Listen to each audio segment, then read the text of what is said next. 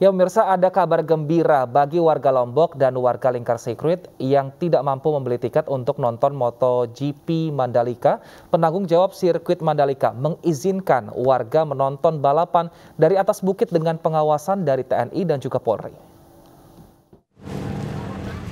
Jelang pelaksanaan event MotoGP Mandalika 2022, pengamanan di sekitar sirkuit terus ditingkatkan. Sejumlah kegiatan mulai dibatasi dan menyesuaikan protokol panitia MotoGP Mandalika 2022. Namun di tengah ketatnya pengamanan dan pengawasan, penanggung jawab sirkuit Mandalika memberikan kabar baik bagi warga yang tinggal di sekitar sirkuit, terutama bagi mereka yang tak mampu membeli tiket balapan. Para warga lokal diizinkan menyaksikan balapan dari atas bukit dengan pengawasan personil TNI dan Polri dan juga pengamanan lokal. Warga juga diimbau untuk menjaga keamanan, kebersihan, dan juga ketertiban selama penyelenggaraan event MotoGP Mandalika 2022 mau nonton di bukit, nggak apa-apa. Oh gitu boleh. Kita menunjukkan inilah Indonesia. Oh gitu. Antusias masyarakatnya sangat luar biasa untuk menonton MotoGP. Hmm. Tapi kita siapkan petugas untuk menjaga keamanan.